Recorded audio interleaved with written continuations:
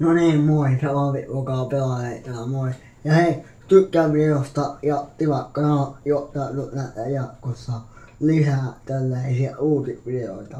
Ja laita ehdottomasti alas kommenttia ja sekä videoehdotuksia tulemaan. Mutta joo, tosiaan, tänään on jälleen pitkästä pitkästä pitkästä aikaa uutisvideota, joten eikä vaan lähde katsomaan minkälainen uutinen siellä on tänään oikein kyseessä.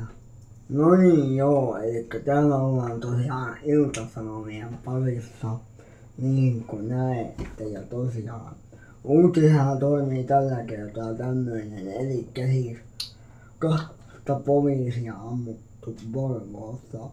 Operaatio jatkuu läpi yön, eli tästä uutisessa on jo vuorokausi aikaa, mutta mä ajattelin tehdä tästä silti videon, eli tiedät, no katsotaan.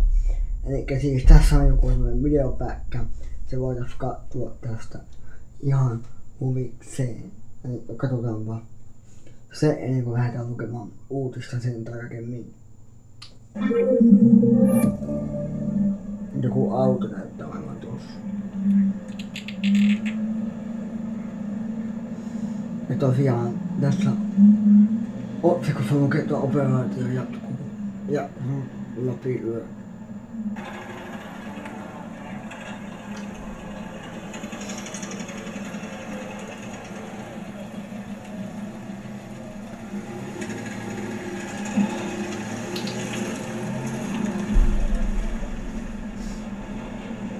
Oké, ik kan.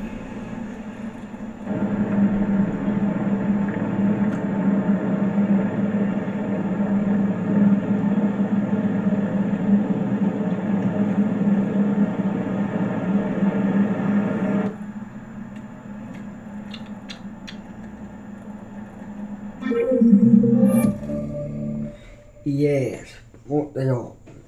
Semmoinen video oli se ja tosiaan. Lähdetään vaan tästä näin lukemaan tätä uutista sen tarkemmin. Eli siis tosiaan. Mutta vaikka... No, joo. Elikkä... Porvoossa ammuttiin yöllä kahta poliisia. Itä-Uudenmaan poliisin mukaan ampujien tapahtuu, kuin poliisi on poliisi on soittamassa virkatehtävää. Poliisi ovat loukkaantuneet ja saa, saavat hoitoa. Heidän saa, saamistaan vammoista ei ole toistaiseksi annettu julkisuuteen tarkempaa tietoa. Poliisi tiedotti yöllä eri, eristäneessä tapahtumapaikan.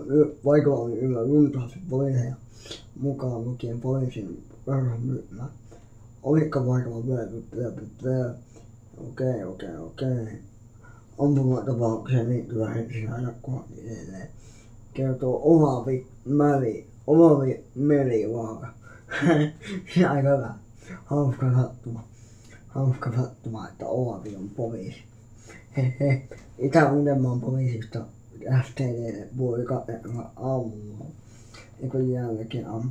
Hänen mukaan tekijällä ei ole saatu kiinni Ylen mukaan Itä-Uudenmaan poliisi on todennut, että epäilijöitä on useita. Uudenmaan lehti kertoo aiemmin, tekijä, tekijä olisivat saatu kiinni. Menihaala kiistää tämän tiedon. Myöskään tapahtumien kulku ja esimerkiksi tarkka tapahtuma-aika ja paikka eivät ole toistaiseksi selvillä.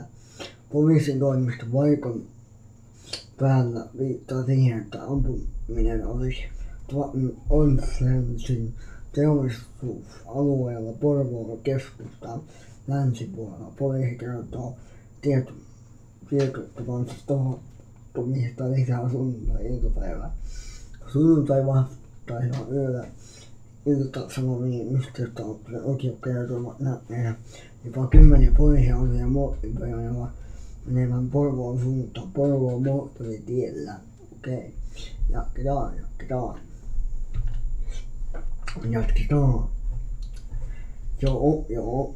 Mm, poliisin omen paikalla ISS Lasse Rinteen mukaan olisi poliisi kulkivat yöllä aikana Porvoon ulomeneviä teitä ja pysäyttivät tar- ja tarkastivat autoja monien poliisien kerrotaan olevan raskaasti asetettuja ja pukeutuneen suojavarusteisiin.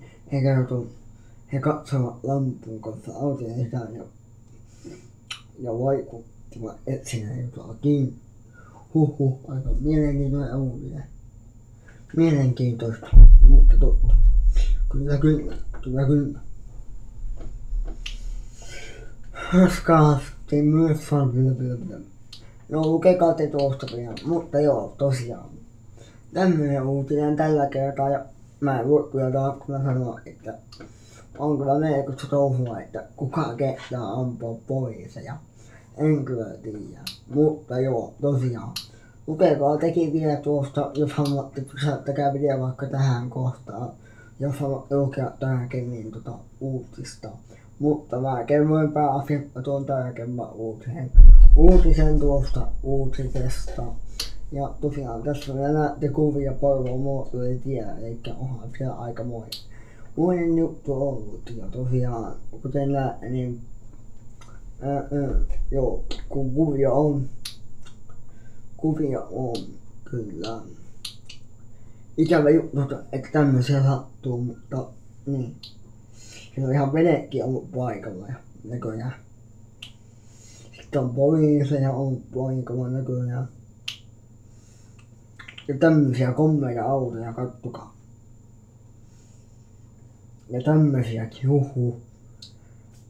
On kyllä, on kyllä melkoista touhua ollut, pakko kyllä sanoa.